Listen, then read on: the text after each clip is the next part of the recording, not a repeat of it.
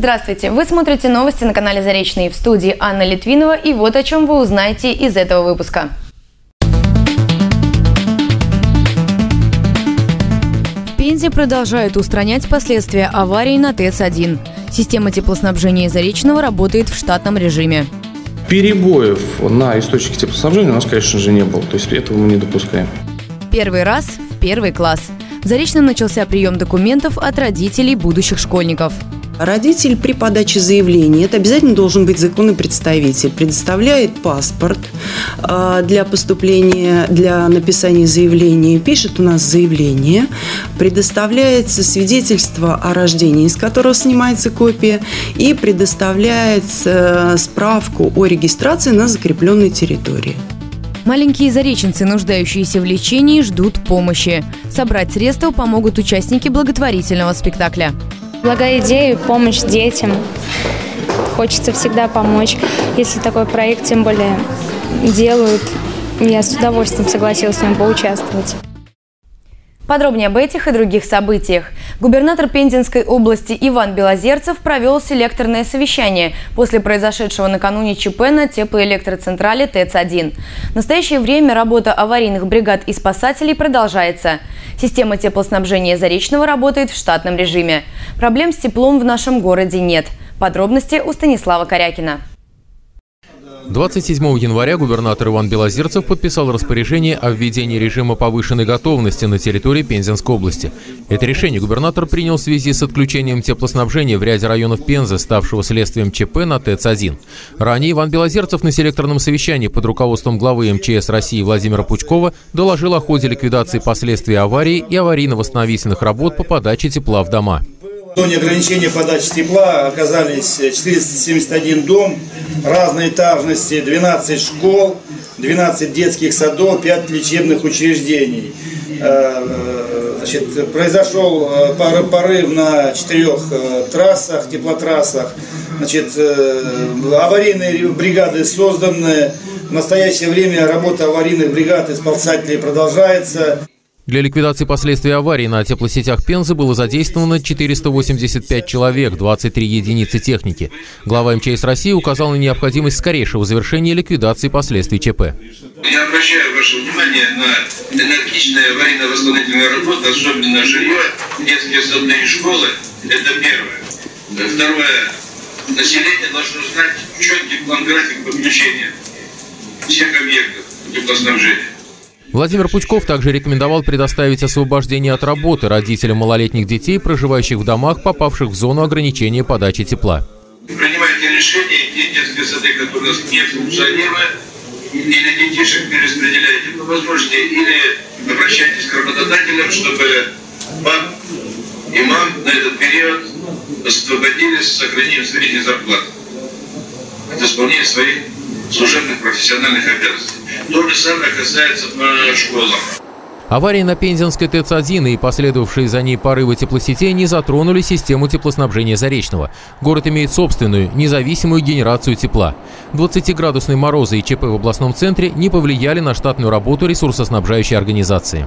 Перебоев на источнике теплоснабжения у нас, конечно же, не было. То есть этого мы не допускаем. При наступлении вот таких температур мы усилили работу на сетях непосредственно, то есть в городе, усилили количество людей, которые занимаются у нас обходами, то есть обходы проводим в большем объеме ежедневно, э, что позволяет нам оперативно реагировать на любые изменения э, в состоянии теплосети и не допускать аварийных ситуаций. Как таковых внеплановых проверок мы на данный момент не проводим, потому что Э, в отопительный период мы и так усиляем все дежурные смены, то есть у нас дополнительно дежурят сварщики, дополнительный персонал, которые способны оперативно устранять любые аварии днем, ночью, когда угодно. Сейчас для подачи тепла в жилые дома, предприятия и учреждений задействованы три котла, в резерве еще четыре. На случай перебоев с газоснабжением в котельном цехе имеются резервуары с мазутом. Это резервное топливо постоянно подогревается, и в любой момент сотрудники цеха готовы перейти на использование альтернативы газу. Тренировки по переключению на топку мазутом – одно из стандартных мероприятий в теплоснабжающей организации. С начала отопительного сезона в Заречном не произошло ни одной серьезной нештатной ситуации. Отключений тепла в городе не было. Это стало результатом планомерной подготовки к зиме. За летний период мы э, проводим и гидроиспытания, и испытания оборудования, которые позволяют нам э, должным образом подготовить наше оборудование к отопительному сезону, наши сети к отопительному сезону, что позволяет не допускать э, аварийных ситуаций во время отопительного сезона. По прогнозам синоптиков, 20-градусные морозы продержатся в Пензенской области до 2 февраля. Станислав Корякин, Владимир Полищук, телерадиокомпания «Заречный». Зареченские школы начали принимать документы о зачислении детей в первые классы. В первую очередь списки будущих учеников включают тех, кто проживает на территории, закрепленной за образовательным учреждением, рассказывает Ксения Тризна. Принимать заявления на зачисление детей в первые классы в зареченских школах начали в 9 часов утра. Законные представители будущих учеников пришли в образовательные учреждения заранее.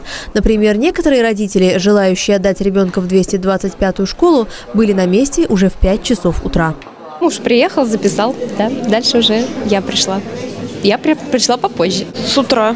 С утра это со скольки часов? Семи. Живу очередь 27 по электронной даже, не знаю, не называли еще.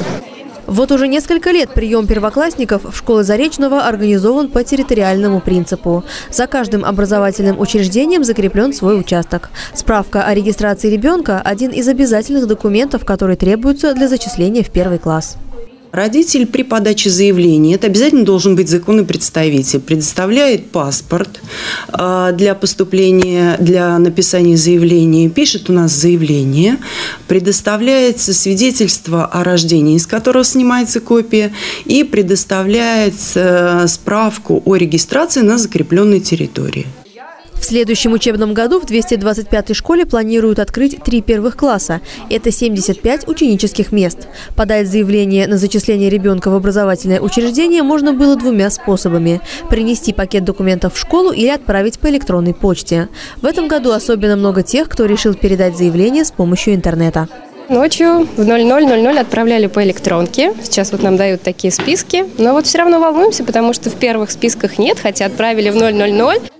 Родителям, которые отправили заявление на зачисление ребенка в первый класс по электронной почте, явиться в школу все-таки придется. В течение трех дней им необходимо предоставить в образовательные учреждения все необходимые документы. Ксения Тризна, Владимир Полищук, телерадиокомпания «Заречный». Подробнее об организации приема будущих первоклассников школы города нам расскажет советник отдела Департамента образования Ирина Кулемина. Встреча с гостем после рекламы, а сейчас перейдем к другим темам выпуска. На первой в 2017 году сессии собрания представителей Заречного депутаты рассмотрели семь вопросов. Народные избранники заслушали отчет о работе межмуниципального отдела МВД России по Зато Заречный за 2016 год и внесли поправки в положение о помощниках депутатов собрания представителей, о почетном гражданине и контрольно-счетной комиссии города. Депутаты утвердили и ряд изменений в структуре городской администрации. Из структуры администрации предлагается исключить отдел социальной политики и предлагается ввести в структуру, структурные подразделения специалисты, в которые будут входить три специалиста. Специалист по вопросам профилактики коррупции и правонарушений и два специалиста, которые будут обеспечивать практическую деятельность заместителя главы администрации по вопросам образования, здравоохранения, социального развития, культуры физической культуры, спорта и молодежи. На первой в этом году сессии собрания представителей было принято решение о досрочном прекращении полномочий депутата Дмитрия Мельникова в связи с его переходом на муниципальную службу. Сейчас он занимает пост начальника Департамента социального развития города Заречного. С января 2017 года пенсионные и медицинские взносы, а также взносы по обязательному страхованию на случай временной нетрудоспособности и в связи с материнством будет администрировать Федеральная налоговая служба. Кроме того, с этого года специалисты налоговой службы будут принимать и отчетные документы по страховым взносам. Теперь все платежи независимо от того, за какой период уплачиваются страховые взносы, за период 15-16 год или за 17 год, обязательно э, перечисляются на реквизиты налоговой инспекции. И изменения в КБК связаны с администратором платежей. То есть первые три цифры сейчас указываются в КБК. Что касается представления отчетности – отчетность по страховым взносам за предыдущие периоды, в отличие от платежей, представляется пока в фонды. То есть если отчетность э, в пенсионный фонд э, или в медицинское страхование, социальное страхование за 15 там, за 16 год, за какие-то периоды, либо уточненные, либо первичные, они предоставляются по-старому. А вот за период, отчетные периоды 2017 года уже будет новая отчетность, новая форма расчета по страховым взносам, и она будет представляться э, в налоговую службу. Однако страхователи не перестанут взаимодействовать с фондами. Пенсионный фонд России, как и раньше, будет принимать персонифицированную отчетность, а фонд социального страхования будет администрировать взносы на травматизм и несчастные случаи. Первый отчет по страховым взносам плательщикам предстоит сдать специалистам налоговой инспекции по итогам первого квартала. Определен победитель конкурса на лучший результат по выполнению мероприятий дорожной карты популяризации стратегии социально-экономического развития Заречного. Итоги подвели на заседании оценочной комиссии в городской администрации. Участники комиссии предварительно изучили и проанализировали отчеты по проведению мероприятий, предоставленные конкурсантами, Департаментом образования, Комитетом по физкультуре и спорту и Департаментом культуры и молодежной политики. Победитель был выбран единогласно. У нас победителем здесь э, выявляется департамент образования сегодня. Ну, другого варианта нет, потому что тут, ну, по всем даже показателям, которые были сегодня заложены в критерии оценки, он является лидером. По условиям конкурса победителю достанется денежный приз в размере 1 миллиона рублей. Деньги можно будет потратить на развитие любых подведомственных учреждений. Более 1 миллиона рублей необходимо на лечение и реабилитацию шести детей, подавших заявление в Фонд поддержки городских инициатив. Собрать нужную сумму рассчитывают участники благотворительного спектакля «О, мама Мия». Своим творчеством горожане помогают нуждающимся в лечении маленьким зареченцам не первый год – на средства, пожертвованные зрителями за три предыдущих благотворительных проекта, оказана помощь восьми детям.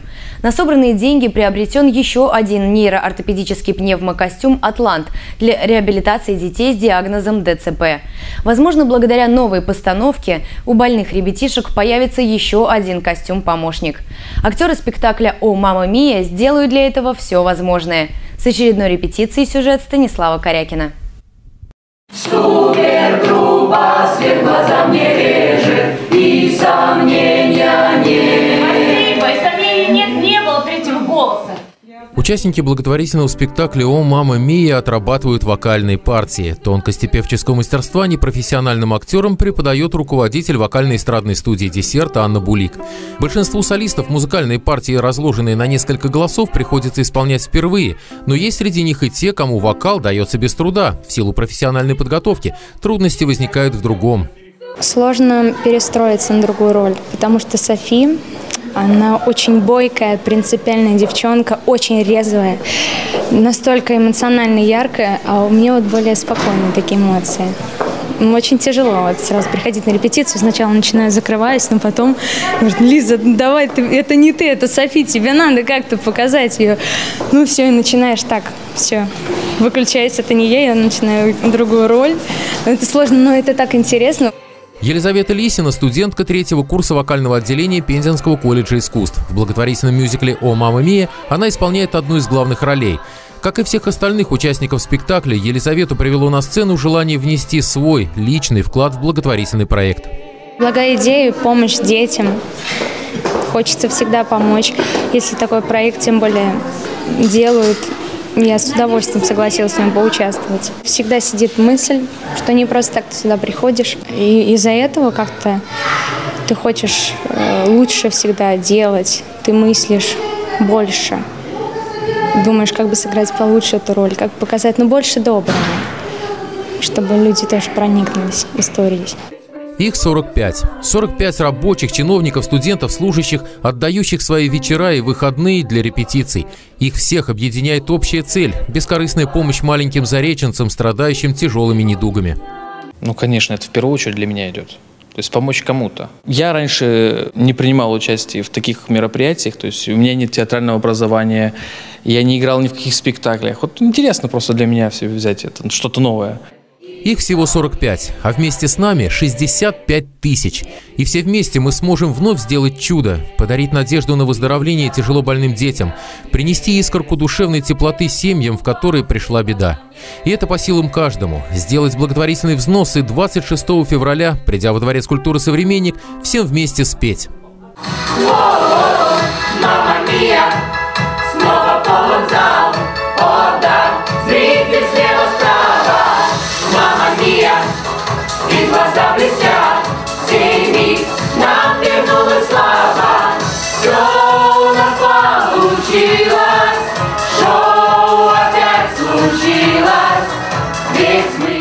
Станислав Корякин, Владимир Полищук, телерадиокомпания «Заречный». 25 января во всех российских вузах, техникумах и колледжах отметили День студента. Учащиеся Зареченского технологического института по сложившейся традиции этот праздник отмечают вместе. Весело и задорно. На спортивном празднике побывала и наша съемочная группа. Вместо лекций и семинаров – коньки, бильярд и боулинг. По сложившейся традиции Татьянин день студенты и преподаватели Зареченского технологического института отпраздновали в спортивно-культурном комплексе «Союз». Они же такие дерзкие, замечательные, спортивные, креативные. Хочется в этот день устроить праздник, чтобы они получили позитив. Поэтому сегодня традиционно мы на льду, боулинг, теннис, э, настольный хоккей. И они все пройдут эти площадки. Общий праздник стал еще одним ярким событием в насыщенной жизни учащихся Зареченского технологического института. Как и полагается в празднике, студенты веселились от души, поздравляли друг друга и желали всего самого наилучшего. Нам все очень нравится. Мы хотим сказать спасибо нашему институту и заводу, да, что спасибо. устраивают нам такие мероприятия. Нам все очень нравится. Пожелать можно многое, но я, наверное, пожелаю не бояться перемен жизни. Сдать хорошо сессию. Да, это самое главное да. для нас. Вот. Ну и оценки, чтобы были у всех хорошие. С зимней сессией студенты ЗТИ уже справились. Теперь им предстоит много работать во втором семестре. Ксения Тризна, Владимир Полищук, телерадиокомпания «Заречный».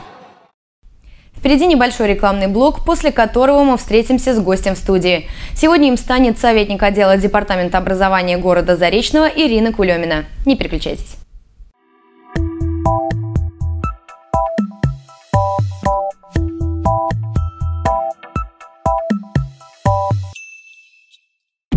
Артроз, остеохондроз, гипертония, варикоз. Болезней много, аппарат один. Алмак 01. Только в январе успейте купить Алмак 01 по цене прошлого года в аптеках Farmtrade, Вита и Центральная аптека.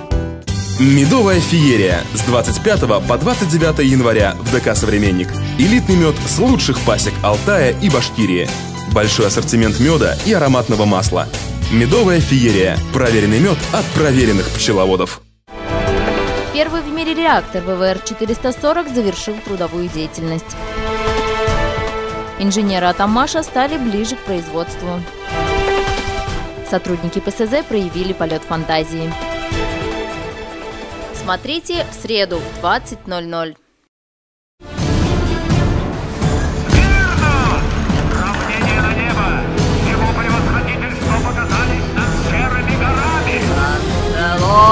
Мои очень страшные.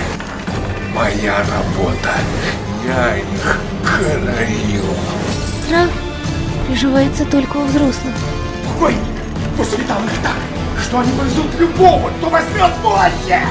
Вы действительно будете драться? Не можете нас устроить на крышу ратуши. Нам так хочется увидеть бой получше. Господин дракон не убивает рыцаря только из любви к войне. И все будут рады нам потому что настоящий влюбленный приносит счастье.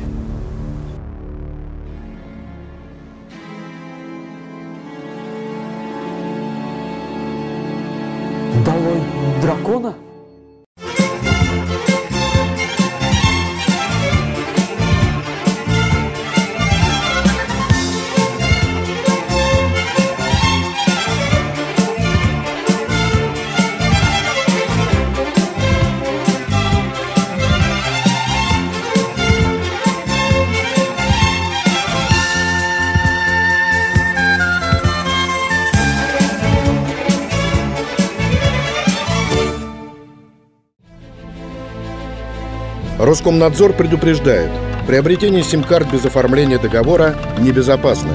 Всегда покупайте сим-карты в официальных салонах связи. Договор с оператором связи – ваша защита и безопасность.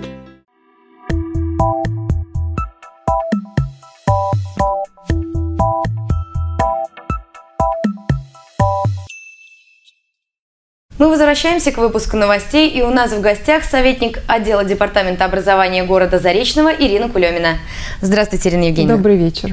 Стартовал прием документов первые классы школ города. Расскажите, пожалуйста, есть ли какие-то сроки, с какого времени он начался, и есть ли ограничения, когда можно подать последнее заявление? Ну, начнем с того, что порядок приема граждан э, на, э, в первые классы общеобразовательной организации не меняется уже с 2014 года. Этот документ размещен у нас на сайте Департамента образования в разделе «Прием в школы» и на сайтах наших учреждений. А, согласно этому порядку, прием документов начинается не позднее 1 февраля. Но традиционно для того, чтобы сделать сроки подачи единообразными, мы э, с руководителями принимаем решение о, приеме, о начале приема в один день, в один час. В этом году такой день был выбран пятница, 27 число. А, ну, с, тем расчетом, что родителям проще отпроситься, и все-таки конец недели, а прием документов – это дело такое очень сложное и требующее больших усилий.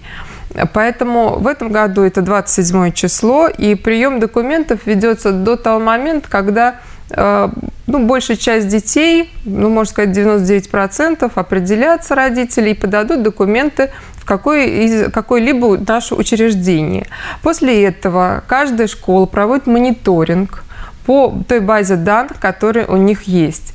И определяется, если больше желающих в школу нет, то тогда школа – начинает прием на свободные места. По прошлым годам у нас это было где-то апрель месяц. Строки могут сдвигаться чуть раньше и чуть позже.